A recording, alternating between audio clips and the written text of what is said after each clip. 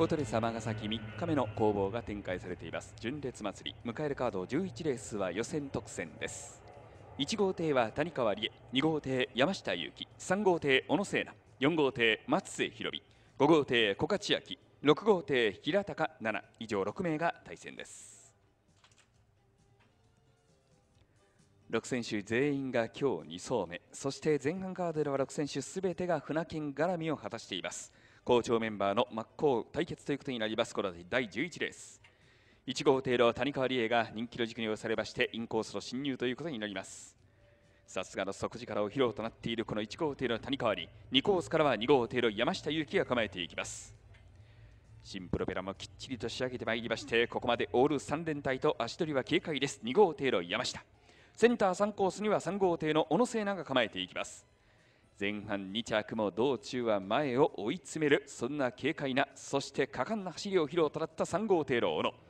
この外4コースに続くのが4号艇が松瀬宏美。さらに外に向かっては5号艇の古賀。6号艇の平高となっています。じわりじわりとムード上昇。4号艇の松瀬宏美が角位置を取り切りました。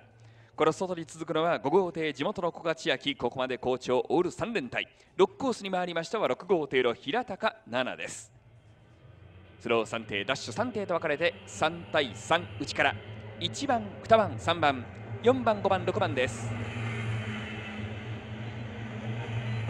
スタートしました。好スタートを決めたのは3コースから3号艇が小野聖奈1番この攻防を仕掛けていこうと3号艇の小野内側から突っ張る1号艇。2艇が競った大きく流れて切り込んだのが2号艇と4号艇。最内を通っては5号艇の小川も迫りますが先頭は陰線こらえたか1号艇の谷川。外から3号艇小野内側からは4号艇の松瀬。その内からは5号艇の小川。スタートは正常でした。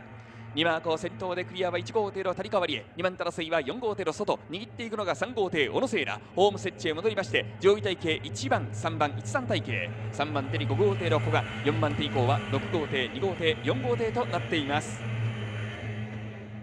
2周目に入りまして先頭は1号艇の谷川です。陰線押し切った1号艇の谷川に2番手争い内側から迫る5号艇の小勝明をかわしていきます。3号艇の小野聖奈上位体系1番3番。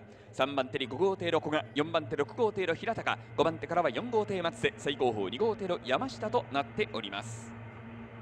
2周2マークに入りました先頭は1号艇の谷川理恵です。2番手から追走は3号艇の小野3番手に5号艇の古賀上位3艇は135 4番手以降6号艇4号艇2号艇となって最終周回に入ります。トップスタートは3コースから3号艇の小野聖奈1周1マークを果敢に攻め立てていきましたがその攻めを受け止めながら踏ん張ったのが1号艇の谷川理恵です。惜しくも2番手は3号艇小野3番手に5号艇の古賀上位3艇は135 4番手以降は6号艇4号艇2号艇となっています。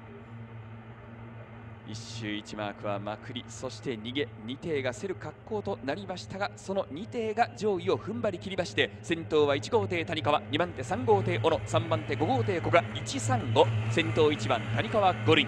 2着3番小野五輪。3着5番の古賀五輪。6番平高五輪。